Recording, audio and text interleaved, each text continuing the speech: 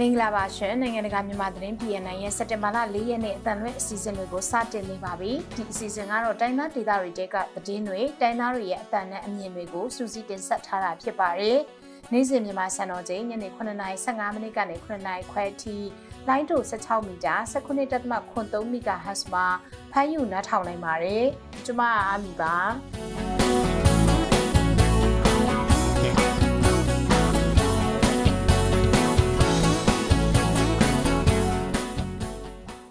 ဒီနေ့သတင်းတွေထဲမှာတော့ Greeny ပြည်နယ်အတွင်းကုန်စည်နှုန်းမြင့်တက်မှုတွေကြောင့်စစ်ဘေးရှောင်ကူညီရေးအဖွဲ့တွေအခက်ကြုံနေကြရပါတယ်။ရခိုင်ပြည်တန်တွဲမြို့မှာလှုပ်ခဲ့တဲ့ဘောလုံးပွဲအပြီးမှာတော့ចောင်းသူတွေတတိလစ်မေ့မျောခဲ့ပြီးစေယုံကိုပို့ဆောင်ခဲ့ရပါတယ်။ သတင်းလွှာတွေထဲမှာတော့ကချင်ပြည်နယ်မိုးကောင်းမြို့ဓာတ်ဆီဆိုင်နှစ်ဆိုင်က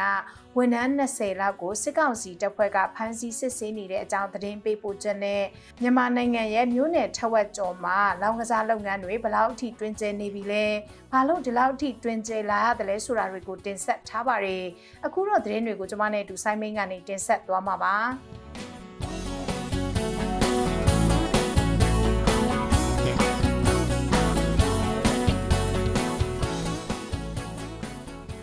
ငွေဆက်ကူ2000တန်ထွက်ပြီးတဲ့နောက်မြင့်တက်လာတဲ့ကုန်စည်နှုန်းတွေကြောင့် Greeny စစ်ပေးရှောင်ပြည်သူတွေကိုကူညီပံ့ပိုးပေးနေတဲ့စစ်ရှောင်ကူညီရေးအဖွဲ့ဟာ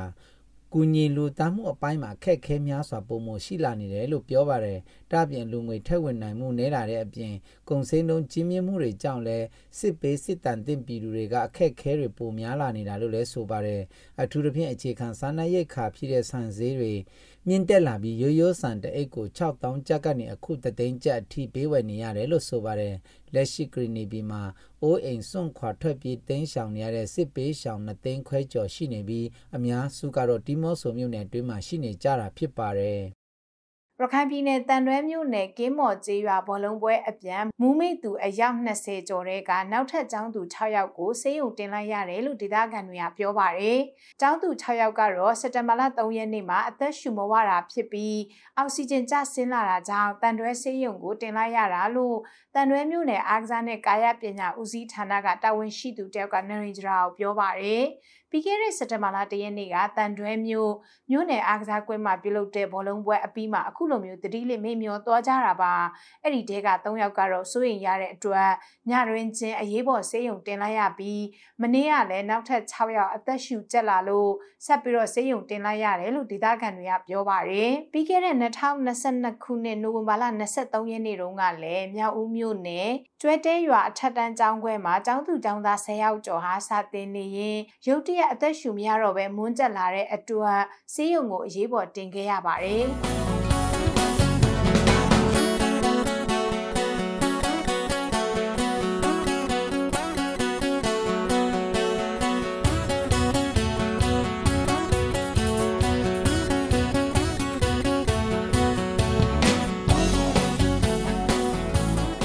အဆက်မပြတ်ရွာသွေးမေးရည်ကြီးရည်ရှာမှုတွေဖြစ်ပွားပြီးတဲ့နောက်ပောက်ကွဲစေတတ်တဲ့ပစ္စည်းတွေတတိထားကြဖို့အပြည်ပြည်ဆိုင်ရာကြက်ချေနီ Committee International Committee of the Red Cross မြန်မာ ICRC မြန်မာကစက်တင်ဘာ2ရက်နေ့ကအချက်6ချက်ပါထုတ်ပြန်ကြေညာချက်ကိုထုတ်ပြန်ထားပါတယ်။ဆိုင်ကလုန်းမုန်တိုင်းအပြီးမိုးကြီးရေရှာမှုတွေကြောင့်မြေပြိုတာတွေပောက်ကွဲစေတတ်တဲ့ပစ္စည်းတွေမြေကြီးပေါ်မှာပေါ်ရှိလာတာတွေဒါမှမဟုတ်မထင်မှတ်တဲ့နေရာတွေရွှေ့ပြောင်းနိုင်တာတွေ စတာတွေတတိထားကြဖို့ထုတ်ပြန်ထားတာပါဒါကြောင့်ပြည်သူတွေအနေနဲ့တစ်ပြင်တစ်ကိုင်းအကျိုးအပဲ့တွေကိုရှင်းလင်းတဲ့အခါတတိထားရှင်းလင်းကြဖို့နဲ့စုပုံနေတဲ့ပစ္စည်းတွေကိုတတိထားကင်တွေဖို့ပါဝင်ပောက်ကွဲစေတတ်တဲ့ပစ္စည်းတွေကိုတွေးရှိလို့ရှိရင်လည်းမိသားစုမိတ်ဆွေတွေနဲ့တက်ဆိုင်ရာကိုအကြောင်းကြားထားဖို့ထုတ်ပြန်တိုက်တွန်းထားပါတယ်ရခိုင်ပြည်မှာဆူလိုင်လနောက်ဆုံးပတ်နဲ့အောက်တိုဘာအစပိုင်းမှာအဆက်မပြတ်ရာတွင်မှုတွေကြောင့်ကလတာမြစ်နဲ့လေးမျိုးမြစ်တလျှောက်ရေကြီးရေရှာမှုဖြစ်ပွားပြီးနေရာတချို့မှာမြေပြိုမှုတွေဖြစ်ပွားခဲ့ပါတယ်။ရေကြီးရေရှာမှုတိကဖြစ်ပွားတဲ့ကြောက်တော်မြောက်ဦးနဲ့ပုံနှကျုံမြို့နယ်တို့တွေကစစ်ပေးဒုက္ခတွေဟာဝမ်းရက်အတွက်တောတောင်တွေမှာမိခိုနေရပြီးတောတောင်ထဲတွားတဲ့အချိန်မှာလည်းအထူးတကြီးထားဖို့လိုအပ်တယ်လို့ဒေသခံကူညီပေးနေတဲ့တာဝန်ရှိသူတွေကပြောပါတယ်။2022ခုနှစ်ဇန်နဝါရီလကနေဩဂုတ်လအထိရှစ်လတာကာလအတွင်း မြန်မာတနိုင်ငံလုံးအတွင်းမြေမြုပ်မိုင်းနဲ့ပောက်ကွဲစေတတ်တဲ့ပစ္စည်းတွေကြောင့်ပြည်သူ259ဦးထိခိုက်ခံစားနေရပြီးရခိုင်ပြည်မှာ17ရာခိုင်နှုန်းရှိတယ်လို့ကုလသမဂ္ဂကလေးများရန်ပုံငွေအဖွဲ့ UNICEF ရဲ့ထုတ်ပြန်ကြေညာချက်မှာဖော်ပြထားပါတယ်။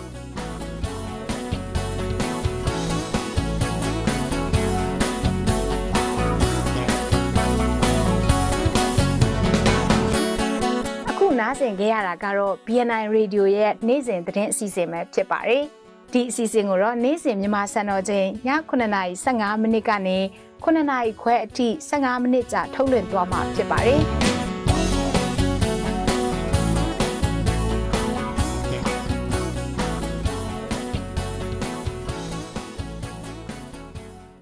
စစ်ကောင်စီစစ်ကြောင်းတွေဖျက်ဆီးမိရှို့ခဲ့တဲ့ဗမော်ခိုင်တဲကနေအိမ်တွေကိုပြန်လည်ဆောက်လုပ်ဖို့အတွက်အကူအညီတွေလိုအပ်နေတယ်လို့ဒေသခံတွေကပြောပါတယ် ကချင်ပြည်နယ်ဗမော်မြို့နယ်မြလဲရွာကနေအိမ်တွေကိုလွန်ခဲ့တဲ့ဩဂတ်စ်လဆန်းလောက်မှာစစ်ကောင်စီစစ်ကြောင်းတွေကနေဝင်ရောက်ဖျက်ဆီးခဲ့တာကြောင့်ပြန်လည်ပြုပြင်နိုင်ဖို့အတွက်အကူအညီတွေလိုအပ်နေပါတယ်။မြေပြင်စစ်ကောင်စီစစ်ကြောင်းကနေမိရှို့ဖျက်ဆီးခဲ့တဲ့နေအိမ်15လုံးလောက်ရှိနေပြီးလေရင်နဲ့ဘုံကျဲတိုက်ခိုက်ခဲ့တာကြောင့်လည်းပျက်စီးသွားတဲ့နေအိမ်10လုံးလောက်ရှိနေတယ်လို့ဆိုပါတယ်။ဒါအပြင်စပကြီးတွေလည်းပျက်စီးသွားတဲ့အတွက်တူလောင်ထားတဲ့စပားတွေပါပျက်စီးသွားတာကြောင့်လက်တလောစားဖို့အတွက်ဒါမကနောက်နှစ်အတွက်ပါစိုးရိမ်နေနေရတယ်လို့လည်းဒေသခံတွေကပြောပါတယ်။လက်ရှိအချိန်မှာတော့နှစ်ဖက်တပ်ဖွဲ့တွေရွာထဲမှာမရှိတော့တာကြောင့်ဒေသခံတွေပြန်လည်နေထိုင်နေကြပြီဖြစ်ပြီးနေအိမ်မီးရှို့ခံရတဲ့သူတွေနဲ့နေအိမ်ပျက်စီးသွားတဲ့သူတချို့ကတော့ဖျားကြောင်ဝင်းတွေမှာခိုးလုံနေကြပြီးတချို့ကတော့နီးစပ်ရာဆွေမျိုးအတိုင်းဝိုင်းတွေရဲ့အိမ်မှာတွားရောက်ခိုးလုံနေကြတယ်လို့ဆိုပါတယ်။ကချင်ပြည်နယ်ရွှေကူမြို့မှာရဲစခန်းကိုရွှေကူပြည်သူစစ်တပ်ဖွဲ့ KPDF ဘက်က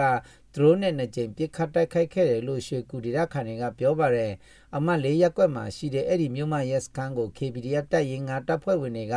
မနေ့ကမနက်ပိုင်းမှာတစ်ကြိမ်နဲ့ဒီနေ့မနက်9နာရီမှာတစ်ကြိမ် drone နဲ့ပုံကျဲတိုက်ခိုက်တာမှန်ကန်ခဲ့ကြောင်းရွှေကူ PDF ကတာဝန်ရှိသူတယောက်ကပြောပါတယ်အဲ့ဒီမြို့မရက်စခန်းကိုရွှေကူ KPDF တပ်ရင်းငါအဖွဲ့ကပြစ်ခတ်တိုက်ခိုက်ခဲ့ပြီးတဲ့နောက်စစ်ကောင်စီတပ်ဖွဲ့ဝင်တွေဟာမြို့မရက်စခန်းရှေ့လမ်းတွေကိုပိတ်ဆို့လိုက်တဲ့အပြင်မြို့တွင်းနေရာတချို့မှာလည်းလမ်းသွားလမ်းလာပြည်သူတွေကိုကြမ်းမှတ်စစ်ဆေးနေတယ်လို့လည်းရွှေကူဒေသခံက KNG ကိုပြောပါတယ်ဒီနလအတွင်းရွှေကူရဲစခန်းခတ်စိတ်စိတ်ပြစ်ခတ်တက်ခိုက်ခံရတဲ့အတွက်မြို့မရဲစခန်းမှာစစ်သားတွေကပါလုံခြုံရေးထပ်တိုးချဲ့ချထားပြီးရဲဝန်ထမ်းမိသားစုတွေကိုတော့ရွှေကူတပ်စခန်းဘက်ပြောင်းရွှေ့နေထိုင်စေခဲ့တယ်လို့လည်းသိရပါတယ်ရွှေကူရဲစခန်းဟာဆွန်လမှာ3ကြိမ်ဇူလိုင်လမှာ2ကြိမ်နဲ့ဩဂုတ်လမှာ3ကြိမ် DT drone နဲ့ပြစ်ခတ်တက်ခိုက်ခံရပြီးဩဂုတ်လ16ရက်နေ့တုန်းကတိုက်ခိုက်ခံရတာဟာအဆိုးရွားဆုံးဖြစ်တယ်လို့ဆိုပါတယ်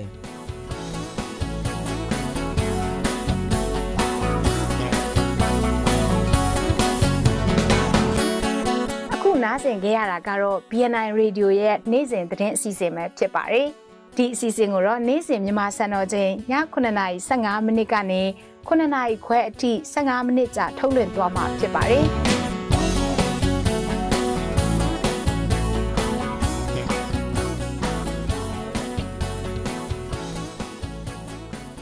အခုဆက်ပြီးသတင်းလွှာတွေကိုတင်ဆက်ပေးသွားမှာပါကချင်ပြည်နယ်မိုးကောင်းမြို့ ဖိုးချစ်ကုံရက်ကွက်မှာရှိတဲ့ဇင်းရောစီဆိုင်နှစ်ဆိုင်ကဖမ်းဆီးသွားတဲ့ဝန်ထမ်းအယောက်20ကျော်ကိုစစ်တပ်ကပြန်လွတ်ပေးတာမျိုးမရှိတဲ့အပြင်ဇင်းရောစီဆိုင်တစ်ဆိုင်ကိုပါမနေ့ကနေ့လယ်ပိုင်းကဘတ်ဖိုးနဲ့ဖြိုချဖျက်ဆီးလိုက်တယ်လို့မိုးကောင်းဒေသခံတွေကပြောပါတယ်။အသေးစိတ်ကိုတော့ကချင်သတင်းဌာနကဇမီယာစုစည်းတင်ဆက်ထားပါတယ်။ စစ်ကောင်စီတပ်တွေဟာဇင်ရောစီဆိုင်ပိုင်ရှင်ဦးမိုးကျော်နဲ့ဒေါ်ခေမာရွှေတို့ကိုကာကွယ်ရေးတပ်ဖွဲ့ဝင်တွေနဲ့ပတ်သက်ဆက်နေရဲဆိုတဲ့ဆွဆွဲချက်နဲ့ဦးမိုးကျော်တို့ပိုင်ဆိုင်တဲ့မြစ်ကျနာမိုးကောင်ဖက်ကလမ်းမပေါ်မှာရှိတဲ့အစီဆိုင်နှစ်ဆိုင်ပါဝင်နေအိမ်သေးကိုစက်တင်ဘာလ၂ရက်နေ့ညမှာဝင်စီးပြီးတော့ဆိုင်ဝင်ထအယောက်20ကျော်ကိုဖမ်းဆီးသွားတာဖြစ်ပါတယ် စစ်တပ်ကလာရောက်ဖမ်းဆီးချိန်မှာဦးမိုးကျော်တို့မိသားစုဟာထွက်ပြေးလွတ်မြောက်ခဲ့ပေမဲ့လို့နေအိမ်မှာကြံနေခဲ့တဲ့ဧည့်သည်ဖွားကိုတယောက်ဖမ်းခံသွားရတယ်လို့အမည်မဖော်လိုတဲ့မိုးကောင်းဒေတာခံတယောက်ကခင်ကြီးကိုပြောပါတယ်။ပါတိုင်းနဲ့ဆိုင်ပေါ့သူတို့နဲ့ဆိုင်30ရှိတာဟုတ်တယ်လို့တော့နဲ့ဆိုင်တွေပဲသူတို့ကဖမ်းသွားတာတော့ကိုသိရတာတယောက်20တယောက်20နီးပါးရှိရလို့ပြောတယ်အမကလေးမနေ့ကကလေးတယောက်ကိုတော့လွတ်ခဲ့တယ်အသက်မပြည့်သေးလို့ဆိုမှကောင်းမလေးတယောက်လွတ်လာတယ်သူတို့ပြောပြဖို့ရတော့ အဲလက်ပြကျိုးတုပ်ပြီးမှမျက်နာတွေအဝတ်နဲ့စီးပြီးမှခေါ်သွားတာတဲ့ဆိုင်ကိုဝင်ပြီးဆိုင်ကိုဝင်ပြီးပြီးတော့သူတို့ဆိုင်ကိုဝင်ပြီးတော့အိမ်ကိုတခါလေးဝင်စီးတာဟိုတလန်လန်တလန်နဲ့မှာပဲဆိုတော့အဲ့ဒီဖွချစ်ကုန်းလမ်းမှာပုံမှာပဲအိမ်ကလည်းစီးရခါကျအိမ်ကိုလည်းဝင်စီးရခါကျတော့သူတို့အိမ်ရှင်တွေကဆိုင်ဆိုင်ပိုင်ရှင်တွေကတီးရောချက်ချင်းမြင်မြန်သူတို့ထပ်ပြီးသွားကြတာလို့ပြောတယ်အဲ့မှာရပ်ဘက်မှာရှိတဲ့သူတွေကတပြေးတော့အိမ်မှာကြံထားခဲ့တယ်အဲ့အပွားကြီးကို ဟိုချိတ်ချောက်ပြီးမေးတာတော့တနက်တွေပဲမောင်းတိမ်ပြီးမှတနက်ရဲ့ချိန်မိတဲ့ခါကျတော့အမဖိုင်ရတတိမိတ်လဲတော့တာအဲ့ဒါဖိုင်လည်းဘယ်ခေါ်လို့ခေါ်တော့မှလည်းမသိရဘူးပေါ့အခုအဲ့လိုဖြစ်တာလေတဲ့ခါကျတော့ဒီနေ့ပြန်လာပြီးမှမနေ့မှတို့ကလာဝိုင်းနေ လာဝိုင်းမချတော့အဲ့ရှင်မတွေ့ရခါကျတော့စီဆိုင်တွေကိုတခါတည်းပဲပိုးတဲ့ထိုးခလော်တော့တာတော့ပြသွားတာစစ်ကောင်စစ်တပ်တွင်ဟာမိုးကောင်းမြို့မှာပြီးခဲ့တဲ့ဩဂတ်စ်လ19ရက်နေ့အထက်ကတစ်တောင်းလာကြိုတဲ့စစ်ကပြစ်ခတ်ခံရပြီးတဲ့နောက်မှာစစ်သားတွေဟာမြို့တွင်းမြို့ပြင်လုံခြုံရေးတင်းကျပ်ပြီးမတင်ကားတဲ့ရက်သားပြည်သူတွေကိုဆက်တိုက်ဖမ်းဆီးလာခဲ့တာဖြစ်ပါတယ်။ အဲ့ဒီလိုအရသားတွေကိုဖမ်းဆီးစစ်ဆေးနေတော့မှပဲမိုးကောင်းမြို့နယ်ထဲမှာစစ်ကောင်စစ်တပ်သားတယောက်ပြစ်တက်ခံခဲ့ရပါတယ်စစ်ကောင်စစ်တပ်တွေရဲ့စစ်ကြောရေးမှာရိုက်တဲ့မေးမြန်းတာတွေကြောင့်အရင်လလက်ကုံပိုင်းကအရသားတယောက်လည်းတေဆုံးတွားခဲ့ပါတယ်ဘိုးကြီးချုပ်လာမှာဆိုတော့အခုဒီတော့ဒီရင်လာထဲမှာဖြစ်တဲ့ကိစ္စတွေကအရင်လာထဲမှာဖြစ်တဲ့ကိစ္စတွေအပေါ်လုံးကဒီတလာထဲမှာဖြစ်တဲ့ဒီမှာအဲ့တလာရဲ့ဒီလာမကူရင်ဒီလာမကုံရင်လေးမှာပဲ ညပိုင်းတိုင်းတိုင်းကလည်းပြောင်းသွားတယ်လို့သိရတဲ့အခါကျတော့အရင်တိုင်းမှုတွေထက်ဒီဥရောက်လာတဲ့တိုင်းမှာပိုဆိုးတယ်ဆိုတဲ့တရေကလည်းရှိနေတဲ့အခါကျတော့လေပိုပြီးမှမြို့မှာခက်ခဲလာတဲ့အခြေအနေတွေရှိတယ်ဒီလားကျောင်းကပြစ်ခံပေးရတဲ့အချိန်ကစပြီးအခုလဆန်တီဖန်စစ်ခံရတဲ့ရက်သားတရာကျော်လောက်ရှိမယ်လို့လည်းဒေတာခန်တွေကခံမှန်းပြောဆိုနေကြပါတယ်။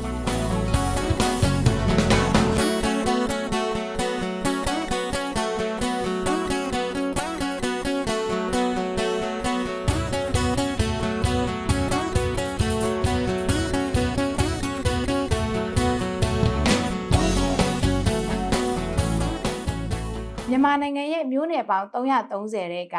105မြို့နယ်လောက်မှာနှလုံးထီသုံးလုံးထီသာမက စီးပွားဖြစ်ဂျင်ဝိုင်းဖဲဝိုင်းကြက်ဝိုင်းအစရှိတဲ့လောင်ကစားဝိုင်းတွေကိုတွင်တွင်ကြဲကြဲလောက်ကင်နေကြတယ်လို့သူတည်တနာအဖွဲ့အစည်းဖြစ်တဲ့ ISP မြန်မာရဲ့စစ်တမ်းတွေကဖော်ပြပါတယ်အသေးစိတ်ကိုတော့တန်လွင် time သတင်းဌာနကတီဟာကစုစည်းထားပါတယ် ISB မြန်မာရဲ့ကောက်ယူခဲ့တဲ့စစ်တမ်းတွေကအခုနှစ်မေလကနေဇူလိုင်လအတွင်းမြို့နယ်တစ်ခုချင်းစီလာရက်ကွက်ကြေးရွာအုပ်စု16ခုနဲ့အထက်စီးပွားဖြစ်ခြင်းဝိုင်းဖဲဝိုင်းနဲ့ကြက်ဝိုင်းလောက်ကင်မှုတွေပုံမှန်မြင့်တက်လာတာပါအချက်အလက်တွေအနေနဲ့နှလုံးဒီ၃လုံးဒီကိုမြို့နယ်130တဲကရက်ကွက်ကြေးရွာအုပ်စု16ခုနဲ့အထက်68မြို့နယ်အတွင်းလောက်ကင်နေကြပြီးတခြားလောင်းစားတွေကိုတော့မြို့နယ်130တဲက42မြို့နယ်မှာလောက်ကင်နေကပုံမူတွင်ကျဲလာတယ်လို့ဖော်ပြပါတယ်။ နိုင်ငံအနှံပြမှာအာဝရီဆန်ဆန်လောင်းကစားလုပ်လို့ရမယ်ပွဲလန်းနေဖန်တီးကြပြီးအဲ့ဒီထဲမှာ36កောင်4កောင်ချင်းနဲ့ဖဲဝိုင်းစားတာတွေထည့်သွင်းကြသလိုတစ်ဖက်မှာလည်း online ကနေကစားနိုင်တဲ့ဘောလုံးပွဲထီရှန်ကိုမီအစားရှိတဲ့လောင်းကစားတွေလည်းရှိနေသေးတယ်လို့ ISB မြန်မာကဆိုပါတယ်။ နိုင်ငံရေးလိလာတုံးသက်သူဦးတန်းစိုးနိုင်ကလောင်ကစားတွေတွင်ကျဲလာတာဟာအုပ်ချုပ်တဲ့အဖွဲ့နဲ့လုံခြုံရေးအဖွဲ့တွေကိုယ်တိုင်ခြားစားမှုတွေဖြစ်နေပြီးအနာဘေးကျနေတဲ့စီးပွားရေးကိုလောင်ကစားလုပ်ငန်းတံမျိုးနဲ့ရုန်းကန်နိုင်အောင်လှုပ်ဆောင်နေကြတာလို့တုံးသက်ပါတယ်။လောင်ကစားလုပ်ငန်းတွေပါဆိုတာအုပ်ချုပ်ရေးအဖွဲ့နဲ့လုံခြုံရေးအဖွဲ့တွေကိုယ်တိုင်ကခြားစားမှုမျိုးစုံဖြစ်နေတဲ့ခါကျတော့လောင်ကစားနေတဲ့တလားကြံပွားနေတာပေါ့။အထူးသဖြင့်အဲ့ဒါတွေကပြည်နယ်တွေမှာပို့ပြီးတော့ကျွန်တော်တို့ဖြစ်တာတွေ့ရပါတယ် သူတပင်နေကြဒေတာရှိနေတယ်ပို့ပြီးဖြစ်ပါတယ်အဲ့ဒါကတဖြည်းဖြည်းနဲ့အခုကတော့မန္တလေးလိုရန်ကုန်တို့လိုမြို့ပြကြီးတွေကိုတဖြည်းဖြည်းကူးလာတဲ့သဘောပါ ISB မြန်မာရဲ့စတန်တွေရစစ်အာဏာသိမ်းမှုလုံးရက်ွက်ထဲနဲ့ဖျားပွဲတွေမှာလောင်ကစားဝိုင်းတွေပုံများလာပြီးမန္တလေးမြို့ကပွဲတော်တွေကျင်းပတဲ့အခါလောင်ကစားဝိုင်းတွေပေါ်ပေါ်ထင်ထင်ခွင့်ပြုခဲ့သလိုအရဲဝတ်လက်နက်ကင်ရဲစစ်သားတွေကလုံခြုံရေးယူပေးတာတွေရှိခဲ့တာပါ။ ဒါအပြင်စစ်အာဏာသိမ်းမှုအလွန်ဖြစ်လာတဲ့ဆုပ်ယုပ်မှုတွေထဲမှာနိုင်ငံအနှံ့လောင်းကစားနှုံနဲ့နှမွန်းကြသူတွေများလာနေပြီးလောင်းကစားဘက်ကိုလူတွေလှည့်လာကြတာဟာစားဝတ်နေရေးကြက်တဲမှုကတကြောင်ပုံမှန်အလုပ်ဖြစ်နိုင်တဲ့စီးပွားရေးဝန်းကျင်အလုပ်ကန်ရှားပါတာကလည်းတစ်ခုပါဝင်နိုင်တယ်လို့ဆိုပါတယ်။ စစ်တမ်းကောက်ယူမှုကိုတော့မြို့နယ်130မှာခရိုင်မြို့နယ်85ခုကိုရွေးချယ်ပြီးကြံ35မြို့နယ်ကိုတော့လူဦးရေအများဆုံးရှိတဲ့မြို့နယ်နဲ့စီးပွားရေးရအချက်အချာကြတဲ့မြို့နယ်တွေကိုဦးစားပေးရွေးချယ်ကဒေသဆိုင်ရာအချက်လက်တွေကိုစောင့်ကြည့်လေ့လာမှုစနစ်နဲ့အခုနှစ်မေလကစပြီးလှုပ်ဆောင်ခဲ့တာလို့ ISP မြန်မာကထုတ်ပြန်ထားပါတယ်။